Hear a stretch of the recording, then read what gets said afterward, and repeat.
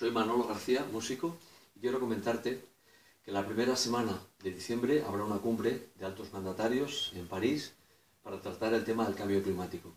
No es la primera, como sabéis. Se trataría, ya va tocando, de tomar medidas serias y atajar el problema, eh, porque la clase científica está dando alertas ya muy serias sobre este asunto.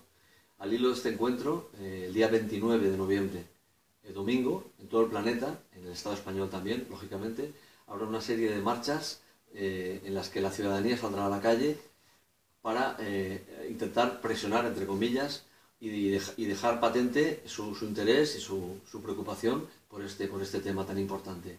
Eh, yo voy a ir a una de estas marchas. Si lo consideras oportuno, serás bienvenido.